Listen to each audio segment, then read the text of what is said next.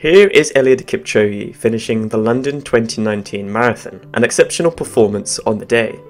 But let's take a quick rewind back to a few weeks before the competition. During these last few weeks of training, elite and recreational athletes often do what is called a taper. Tapering is a planned reduction in training before a competition to improve performance by helping an athlete recover from training fatigue while maintaining fitness levels any endurance athlete can apply a taper to their training. However, many have considered the taper as an art, as you need to get it right in order to see the performance benefits. Tapering too much can lead to detraining due to a lack of training stimulus, whilst tapering too little can lead to overaccumulation of training fatigue or failure to recover from training fatigue, both of which can reduce performance. However, tapering just right can lead to performance benefits of approximately 2% on average, ranging up to 8% in some individuals. There appears to be a Goldilocks zone where just the right amount of tapering and in the right way can bring about these performance benefits. Athletes, coaches, and scientists have been at it for years trying to find the quote unquote optimal taper strategy. In today's video, we are looking at the Hallmark Review paper published in 2007, where a group of scientists reviewed and analysed the tapering studies to date to find out whether there are any patterns in the data to understand whether there is a most effective tapering strategy and what it involves. To understand what we mean by reducing training, we need to look at three key variables relating to training and how they can be manipulated. The first is training volume, which is how much training you are doing. You can measure this as distance covered or duration of exercise. For example, a good level runner may increase their training volume over the period of three weeks, and it may look something like this. So, training volume is how much training someone is doing. The next variable is training intensity, which is how hard the training is. You can view training intensity as a scale from 0% to 100%. 0% would be resting, such as at sleep, or quiet sitting, whilst 100% intensity would be considered maximal effort, such as a maximal sprint. A typical measure, such as heart rate, is often used to gauge training intensity for endurance athletes, and often express it as a percentage of heart rate maximum.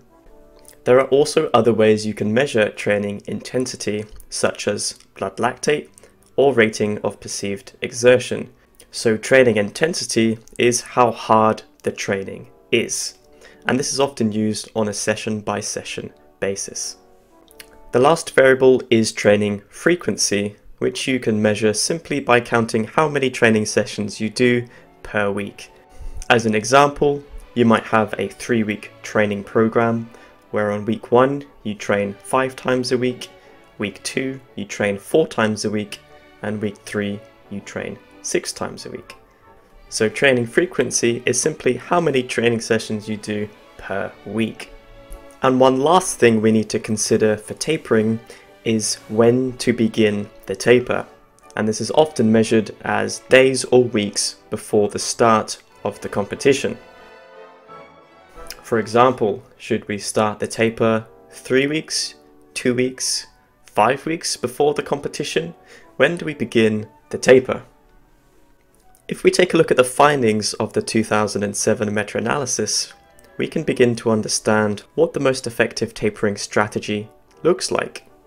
Their findings indicated that the start of the taper should be approximately two weeks before the competition, and they actually compared this to one week, three weeks, and four weeks before the competition and found indeed two weeks had the highest overall effect size, and the 95% confidence intervals did not overlap zero, which means that pretty much everyone experienced a performance benefit when the taper was employed two weeks before the competition.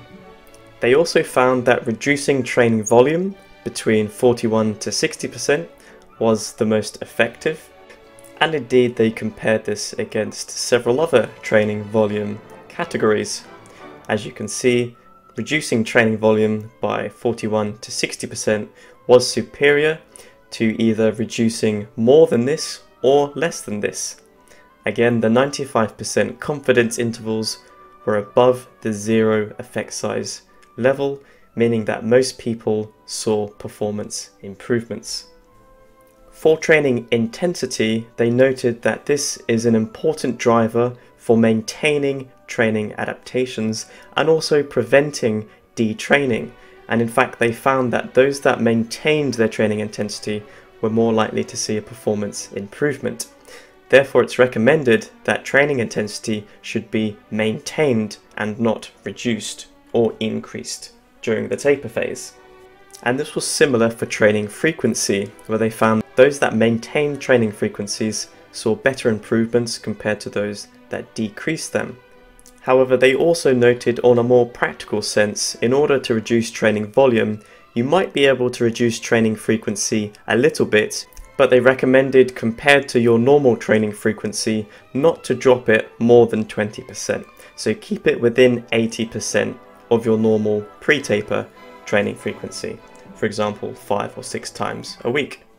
Now I just want to go back to the reduction in training volume because there's a little bit more to it for those advanced athletes because they recommend reducing it in an exponential way. There are several ways you can reduce training volume and the seminal papers discussing this highlight several methods. The most common methods described are a linear reduction in training volume. You've also got a stepwise reduction in training volume where there's a sudden decrease to your desired amount. But there are also exponential reductions in training volume which can also have different decay rates such as a fast or slow exponential decay. Now this figure shows it a little bit more clearly but as you can see there are different ways you can reduce the amount of training you do. Now the 2007 review didn't have enough evidence to indicate which of these four different tapering methods was the best, but with the evidence they did have, they suggested that those that progressively decline in training volumes, such as the linear or exponential reductions, was superior to the stepwise reduction. Now the improvement in performance due to tapering is actually quite small and they state that for a recreational athlete this might actually be quite trivial.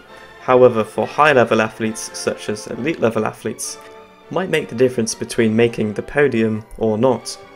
The take home message and practical consideration of this review is that according to their analysis a two week taper before the competition where training volume is exponentially decreased by 41 to 60%, whilst maintaining training intensity and frequency appears to be the most effective tapering strategy out there.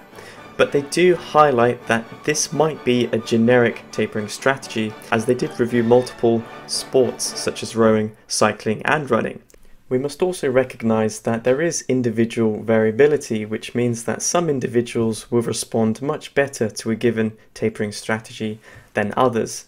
We must also not dismiss the fact that there are probably tapering strategies that might be more effective, however, we just haven't explored them yet in the scientific evidence, or no one's actually thought of them yet.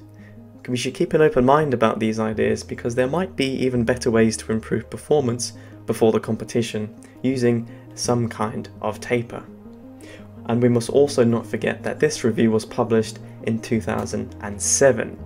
We're now at 2021 and indeed there has likely been lots of scientific development and evidence relating to effective tapering in the endurance evidence space, which is why I'm intending to make more videos relating to tapering.